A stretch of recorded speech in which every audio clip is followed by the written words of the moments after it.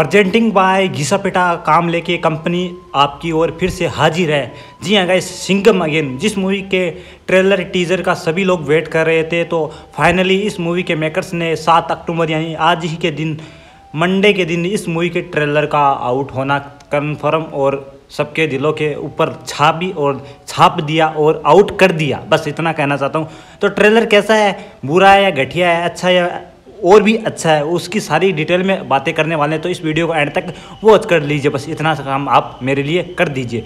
तो गाइस अजय देवगन पाजी की अपकमिंग मूवी जिस मूवी का नाम है सिंगम अगेन जिसमें भरपूर कास्ट सजी पड़ी है, और गाइस मूवी को रिलीज़ होना है एक नवंबर को। तो रोहित शेट्टी के डायरेक्शन में बनने वाली मूवी सिंगम अगेन जिस मूवी के अंदर हमको नज़र आ रहे हैं टाइगर श्रॉफ सर रणबीर सिंह, इसके अलावा अक्षय पाजी, अजय देवगन पाजी, और गाइस विलन की जहाँ तक बात करें तो विलन हमको नज़र आ रहे हैं। अर्जुन कपूर सर और जैकी श्रॉफ सर और एक्ट्रेस की जहाँ तक बात करें तो दीपिका पादुकोण में इसके अलावा करीना कपूर खान।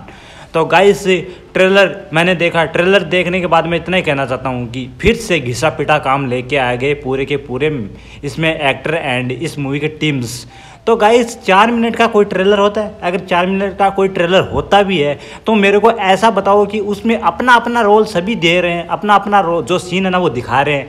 अरे भाई छोटा छोटा एंट्री दिखाते हैं एंड फुल एक्शन दिखाते हैं तो मान जाते हैं। और फिर से रामायण पे बेस्ट कर दिया इस ट्रेलर को। बस मैं इतना ही कहना चाहता हूँ कि यह मूवी बिल्कुल भी अगर चलती है, थोड़ी बहुत भी, अगर बिल्कुल भी चलती है तो वो चलने वाली अजय देवगन पाजी सर के लिए या फिर अर्जुन कपूर सर के लिए। मुझे सबसे ज़्यादा बेहतरीन काम इन दोनों का ही लगा इस मूवी के अंदर, इस ट्रेलर के अंदर सॉरी और तो बाकी सब अपना काम काम निकाल के दिखा रहे हैं कि हमने एंट्री मारी है, हमने एंट्री मारी है। अब एंट्री मारी है तो पीछे भी आई थी सिंगम अगेन मूवी उसमें भी एंट्री ही मारी थी आप लोगों ने। सूर्यवंशी में भी एंट्री ही मारी थी आप लोगों ने। कुछ किया? वो चल तो पाई क्योंकि आपने फ़र्स्ट टाइम वैसा किया और अभी उसका ही मतलब कॉपी करके पब्लिक के सामने लेके आ रहे हो तो ये मूवी ऐसे थोड़ी चलने वाली है। और कितना वेट करवा रहे थे? ये इस मूवी के अंदर जितने भी एक्टर हैं, उनके फैंस से द्वारा, और वो देखेंगे अब इस ट्रेलर को तो उनको कैसा लगेगा? अगर हाल फ़िलहाल में आप लोगों ने ये ट्रेलर देखा तो आप लोगों को कैसा लगा? मुझे कमेंट सेक्शन में ज़रूर बताना। और बाकी मैं बता दूँ कि इस मूवी को रिलीज़ होना है एक नवंबर को, दीपावली के शुभ अवसर पर एंड आप इस मूवी को फैमिली के साथ देख के आ सकते हैं। अभी तो मूवीज़ और ट्रेलर के अंदर ये ऐसा दिखा भी दिया है कि आप फैमिली के साथ जाके देख सकते हैं। लेकिन क्या देख के मेरे को तो ये समझ में नहीं आ रहा। काम देखो।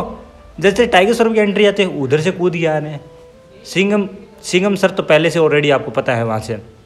अक्षय सर आते हैं, वो पले वो हेलीकॉप्टर से आते हैं, वो तो मतलब वो काम बाँध के आए हैं कि हम तो हेलीकॉप्टर से आएँगे और किसी से नहीं आएँगे, और वो कॉमेडी रणवीर सिंह की, क्या है वो?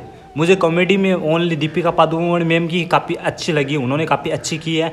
अगर चार चाँद लगते हैं तो उनकी वजह से लगेंगे, वरना तो कोई आने वाली, जाने वाली बात नहीं है। तो trailer is average and disaster लगा मेरे को तो इतना मस्त नहीं लगा। वही घिसा पेटा काम, एकदम फंटास्टिक लगा।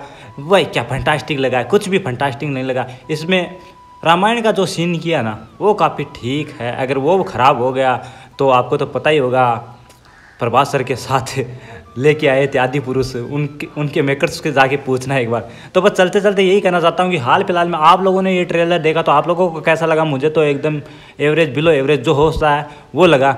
तब तक के लिए अपना ध्यान रखिए, ऐसी अपडेट के साथ फिर से मुलाकात करें। Love you friends and bye bye all friends